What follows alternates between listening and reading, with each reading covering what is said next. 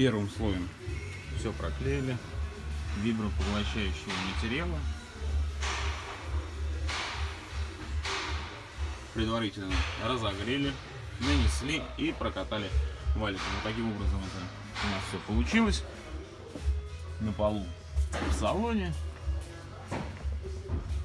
Все, насколько это возможно, все проклеено. Арки, крылья и пол багажника.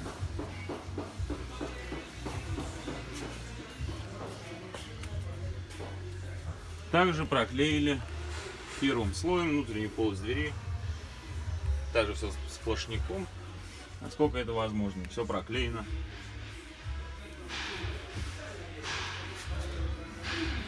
И вторым слоем с внешней стороны пошел процесс. Также нанесено все и прикатано. Все готово. Приступаем к нанесению второго шумопоглощающего слоя.